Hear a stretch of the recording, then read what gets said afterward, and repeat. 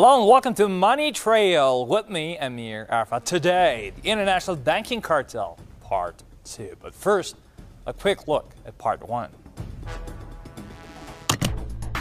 The four horsemen of banking, Bank of America, JP Morgan Chase, Citigroup, and Wells Fargo, own the four horsemen of oil ExxonMobil, Royal Dutch Shell, BP, and Chevron Texaco.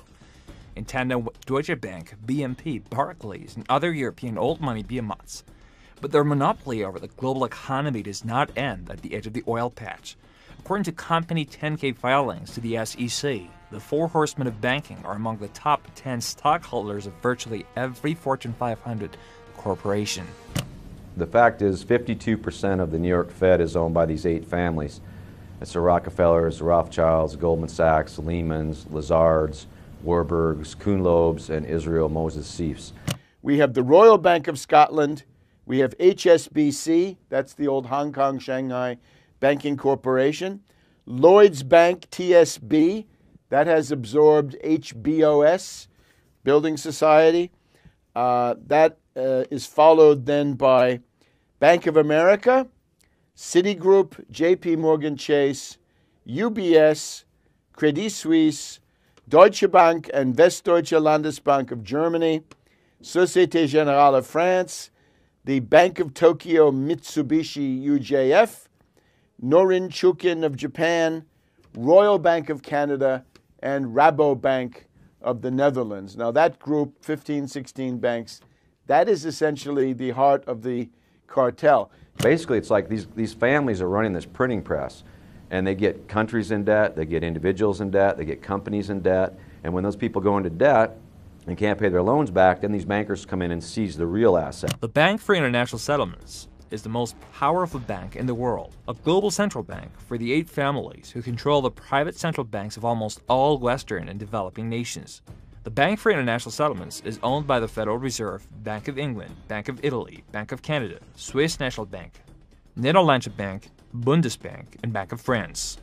The central banks of the world, from the United States to Russia to China, they all operate under Basel III. Historian Carroll Quigley wrote in his epic book Tragedy and Hope the Bank for International Settlements was part of a plan to, quote, create a world system of financial control in private hands able to dominate the political system of each country and the economy of the world as a whole, to be controlled in a feudalistic fashion by the central banks of the world acting in concert by secret agreements naturally it's, it's, it's a sinister institution, right? Secretive, wealthy, uh, with no accountability, no transparency, no TV cameras, no nothing, all secret. Uh, this is the kind of thing that would have to end. Speaking of the international banking cartel, where does the U.S. Federal Reserve stand? How did it come to being? By the early 20th century, the U.S. had already implemented and removed a few private bank systems, which were swindled into place by ruthless banking interests. At this time, the dominant families in the banking corporate worlds were the Rockefellers, the Morgans, the Warburgs, and the Rothschilds. In the early 1900s, they sought again to publish legislation to create another central bank. However, they knew the government and the public were wary of such institutions, so they needed to create an incident to affect public opinion. In 1907, J.P. Morgan published rumors that the Knickerbocker Trust Company was insolvent. This was a deliberate act of market manipulation which precipitated the panic of 1907. This led to an eruption of bankruptcies, repossessions, and failures. Unaware of the fraud, the panic led to a congressional investigation headed by Senator Nelson Aldrich. Aldrich had intimate ties to the banking cartels, and he was the insider the banking cartels desperately needed. The commission led by Aldrich recommended a central bank should be implemented so the panic of 1907 would never happen again. This was the jumpstart the international bankers needed. In 1910, a secret meeting was held at the J.P. Morgan estate on Jekyll Island off the coast of Georgia. During the 1910 Jekyll Island meeting, it was the Morgan Rothschild Rockefeller Alliance, and they worked closely throughout uh, the late 1800s, uh, right through uh, the 1910 1915 period. Um, so they were dominant in that day and age. Those three, those were the three major banking families. It was there that the central banking bill, called the Federal Reserve Act, was drafted. The bill was written by bankers for bankers. The meeting was held in complete secrecy. After the bill was constructed, it was then handed to their political spokesperson, Senator Nelson Aldrich, and he pushed it through Congress. And in 1913, with heavy sponsorship by the bankers, Woodrow Wilson became president, having already agreed to sign the Federal Reserve Act in exchange for campaign support. And two days before Christmas, while the majority of Congress was away for the holidays, the Federal Reserve Act was voted in and President Wilson signed it into law. Starting with 1913 and the passage of the Federal Reserve Act, we have privately owned central banks whose sole mission is to disguise themselves as operating in the public interest, when in fact they operate strictly in the interest of the member banks, the member private commercial banks. So we have this uh, giant veneer of a deception going on, and that is the main problem. Uh, if we actually had central banks that were operating in the public interest, producing uh, uh, national currencies in the public interest, uh, uh, and we did not have the specter of private commercial banks being able to counterfeit the national money through fractional reserve lending, uh, everybody would be a lot better off. The public was told that the Federal Reserve System would give them financial stability. As history has shown, nothing could be further from the truth. The fact is, the international bankers now had a streamlined machine to carry out their private agendas. For example, between 1914 and 1919, the Fed doubled the money supply, which led to extensive loans to small businesses and the public. Then in 1920, the Fed called in the remaining outstanding money supply, which resulted in panic and loans being called in. This led to bank runs and bank failures. Over 5,400 competitive banks not within the Federal Reserve banking system collapsed. The Fed sucked these banks up in a hurry, furthering their sphere of influence and power. Charles Lindbergh had stepped up and said after the creation of the Federal Reserve, from now on, depressions will be scientifically created. And as we shall see, this statement was more prophetic than arbitrary. Now, the big bankers were just getting warmed up, and they had a bigger plan to unveil on the American people. Between 1921 and 1929, the Fed again increased the money supply by over 60%, which once again led to extensive loans to the public, companies, and banks. There was also a new concept called a margin loan in the stock market. Very simply, a margin loan would allow an investor to buy a stock with only 10% down. The remainder of the stock would be carried by the broker. In other words, I could buy $1,000 worth of stock with only $100 down. This was very popular during the roaring 20s, and everyone seemed to be making money, lots of money. However, there was a catch to this loan. When the stock dips below a certain level, the balance could be called in and must be paid within 24 hours. This is called a margin call, which usually resulted in the selling of the stock to cover the outstanding loan. And whatever the investor had put into the market was lost if he or she could not meet the margin. So, a few months before October in 1929, J.D. Rockefeller and the other banking insiders quietly exited the market, and on October 24, 1929, the New York financiers who furnished the margin loans started calling them in. This sparked an instant massive sell off in the market, for everyone had to cover the margin loans. It caused runs on banks, which caused the collapse of over 16,000 banks. These international bankers were not only able to suck up these independent rival banks, but also whole corporations for pennies on the dollars. It was the biggest robbery in U.S. history. We have in this country one of the most corrupt institutions the world has ever known. I refer to the Federal Reserve Board and the Federal Reserve Banks, hereinafter called the Fed. They are not government institutions. They are private monopolies which prey upon the people of the United States for the benefit of themselves and their foreign customers. The Federal Reserve is bad uh, because of what it does, but what it does is influenced by the fact that it's privately owned. It needs to be nationalized. And this is the heart of my program. Federalize the Fed, nationalize it, seize it, deprivatize it, uh, take it over in whole or in part. It didn't stop there. Instead of expanding the money supply, the Fed actually contracted the money supply, fueling the largest depression in U.S. history. Once again outraged by the acts of the Fed, Louis McFadden brought about impeachment hearings against President Herbert Hoover, and he also introduced a resolution bringing conspiracy charges against the Board of Governors of the Federal Reserve, saying that the crash of 1929 and the following depression was a carefully contrived occurrence. Are you going to let these thieves get off scot free? Is there one law for the looter who drives up to the door of the United States Treasury in his limousine and another for the United States veterans who are sleeping on the floor of a dilapidated house on the outskirts of Washington? Not surprising, after two failed attempts, Louis McFadden was assassinated by means of poisoning at a banquet in 1936.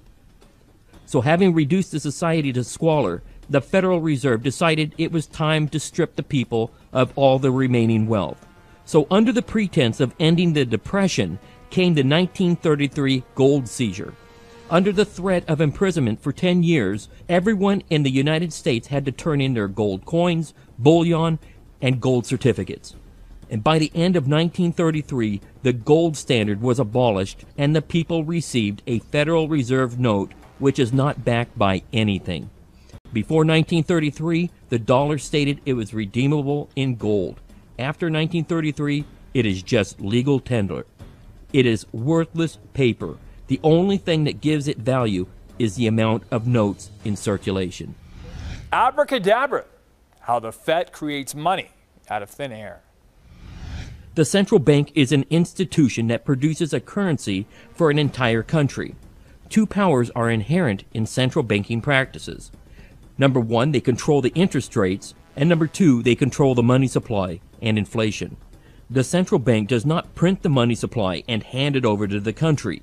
Instead, the central bank prints the money and loans it to the country at interest.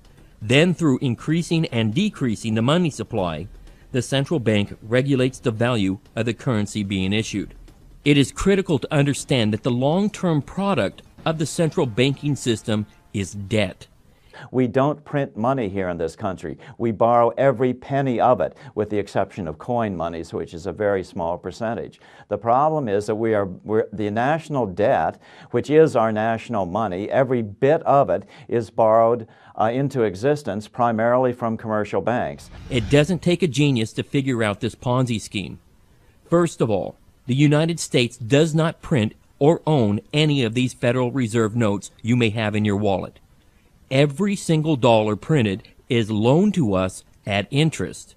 This means that every single dollar printed already has a certain percentage of debt attached to it every penny in existence on your online banking has been created as debt, and that's got to be matched up with somebody else who's taking on the debt.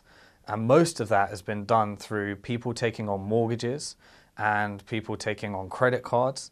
And therefore, when we're telling people that they've been reckless spending, foolish borrowing, we're actually also relying on them for the creation of our nation's money supply. Um, so the people that tend to be in credit that are holding the assets tend to be the wealthy people. Um, and the people that are in the hole, that are in the debt, and the subprime borrowers um, and ordinary people. And that's why we're getting this massive divide between the people that are in debt that can't access any of the assets that are required to build wealth. Um, who are, and then you've got the people, the, the you know the one percent, which are acquiring most of the assets have the balance, and every balance in their account is associated with the poor people's debt. So all this borrowing and all this printing has led to over $16 trillion of U.S. federal debt. So who are the debtors and who are the creditors? And what are the long-term, medium-term, short-term consequences of this debt? 60% of government debt is purchased by banks and uh, related industries.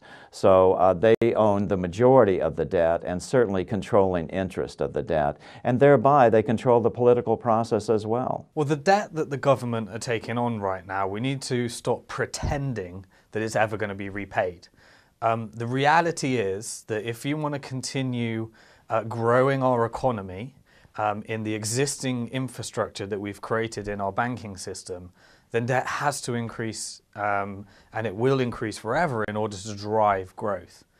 Um, the challenge is that if we, if we just simply say the government need to pay off their debt, when the government pay off their debt, unfortunately, you're getting a massive reduction in the money supply, um, which is a, you know, a disaster for the economy.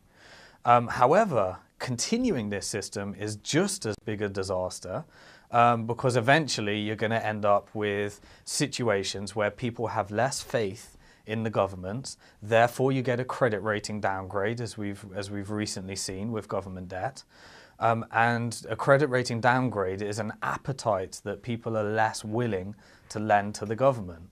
Um, and when people are less willing to enter the to the government, you end up in this Ponzi scheme. Uh, the American people need to uh, perhaps take to the streets uh, chanting no more national debt. You don't have to run a nation on debt. You don't have to have a national debt. It's the most important uh, responsibility and power of a sovereign nation to create its own money in the public interest. If you go out and ask the average uh, citizen on the street who creates the money in the country, they will inevitably answer the government. They, they say that because they intuitively know that that is government's most important responsibility. And yet, in virtually no nation on earth is that the case. Since the central bank has a monopoly on the production of the currency being issued, and they loan each dollar with immediate debt attached to it, where does the money come from to pay off the debt? The answer is simple. It can only come from the central bank. They just print more money. If a president wants to stimulate the economy by infusing $700 billion into the economy, or he wants to pay $800 billion for a universal health care system, well, the president can't reach into the congressional pocketbook because they are already in debt over their heads. So instead, they request that the Federal Reserve print the 700 or 800 billion dollars they need. But the Federal Reserve doesn't just print the money free of charge. Instead, they add on or print extra to cover the percentage for services rendered, and they pocket the excess.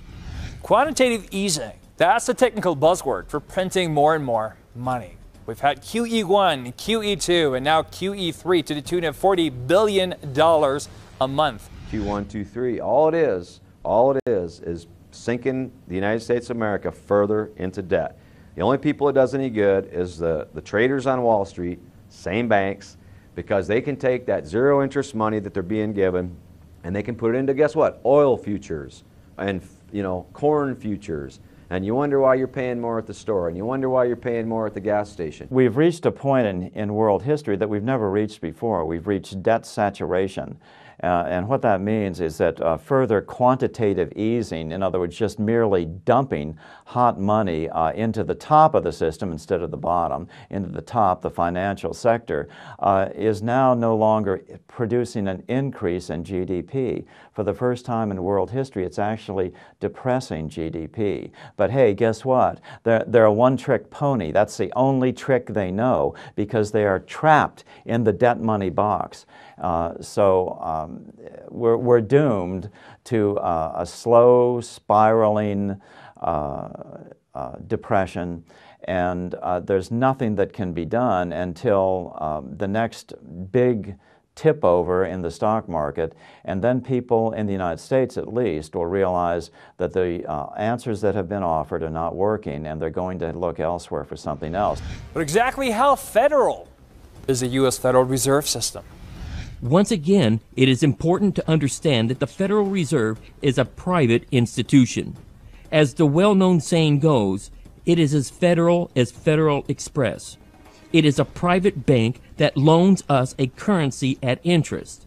It is completely consistent with the banking model our founding fathers escaped from by declaring independence in the American Revolutionary War.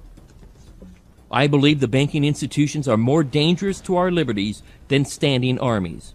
Already they have raised up a moneyed aristocracy that has set the government at defiance. The issuing power should be taken away from the banks and restored to the people to whom it properly belongs. Thomas Jefferson. Basically, the only federal part of the Federal Reserve is the Federal Reserve Board of Governors. And that is a board that's appointed by the, I guess it's the Treasury Department. Yeah, I believe it is. Um, but anyway, appointed by the administration. But they're all bankers. So, you know, the, the Federal Board of Governors is all bankers. They're all private bankers. Every other part of the Fed is private. And it's not some big conspiracy. It's just the facts. It's just, see, every bank in America has been sort of coaxed into this Federal Reserve system. So every, even your local banks, they're all part of it. They're all part of this Federal Reserve. The Federal Reserve System is, of course, uh, illegal. It's unconstitutional because the Constitution gives the Congress the right and the responsibility to control money supply. They have given this over to the Federal Reserve. Uh, that's bad enough. But then some of the people voting in the Federal Open Market Committee are from the branches, Chicago, uh, San Francisco, uh, St. Louis, right? Other, other uh, Federal Reserve branches. And those are just private bankers. They've never been approved by the Senate. They've never been appointed by the president. So this is completely uh, lawless. It means that private interests have taken over government functions. So who watches the Federal Reserve System and its member banks? Regardless of whatever is written in code, the Federal Reserve really has no oversight and they are not really bound by a checks and balance system like the three branches of our government. So without audits, it's impossible to know how much the Federal Reserve is actually printing, who they are loaning it to, and any potential conflicts of interest.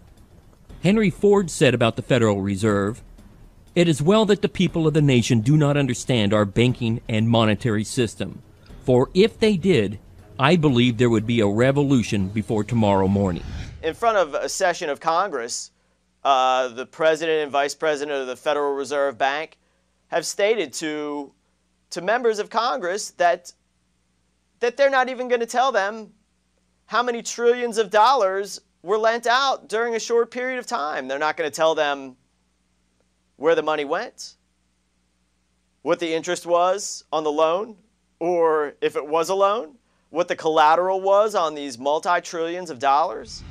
The power to regulate the money supply is also the power to regulate its value, which is also the power that can bring entire economies and societies to its knees. Give me the control of a nation's money supply, and I care not who makes its laws. Title 31 of the U.S. Code requires an annual physical inventory of our gold supply, but a complete audit was never done. So officially, nobody knows what has occurred for the last decades. After World War II, America had 70% of the world's supply of loose gold, but today we may have less than 7%. Senator Jesse Helms seemed to think that OPEC nations have our gold, while others believe that 70% of the world's gold supply is being held by the World Bank, which is dominated by the financial grip of the Rothschilds and Rockefellers. The Federal Reserve System has never been audited, and their meetings and minutes of those meetings are not open to the public. They have repelled all attempts to be audited. Arthur Burns, the chairman of the Federal Reserve, said that an audit would threaten the independence of the reserve. The, these banks need to be regulated. They cannot be regulated as long as government is borrowing money from them. And uh, nothing else matters until you fix those two problems. Banks should not be allowed to lend governments money. Banks should not be allowed to counterfeit the national money through fractional reserve lending. The people who are running the central banking cartel in the United States known as the Federal Reserve Bank, are guilty of treason.